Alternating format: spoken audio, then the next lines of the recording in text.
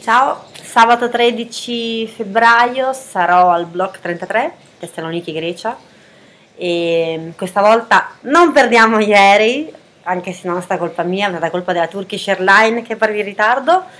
E, e recuperiamo la data che non ho potuto fare a dicembre e vi aspetto tutti. L'ingresso è gratuito per poter recuperare l'ingresso pagato a dicembre e, e nulla, vi aspetto.